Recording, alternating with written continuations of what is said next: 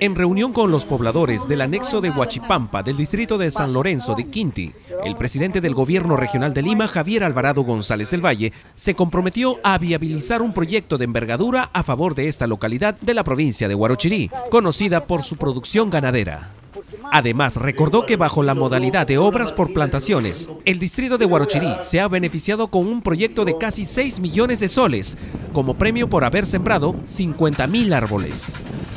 Único que les pido es que, que, cuiden, necesitamos que haya árboles en las zonas altoandinas,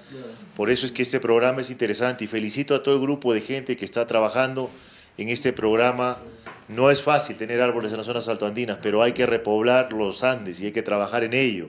Así que felicitaciones por ello, a seguir trabajando en la ganadería, a seguir esforzándonos, no hay que declinar ni sentirnos mal, tienen a un presidente hermano que velará por ustedes siempre, en todo aspecto, siempre los vamos a apoyar y sobre todo honrando nuestros compromisos.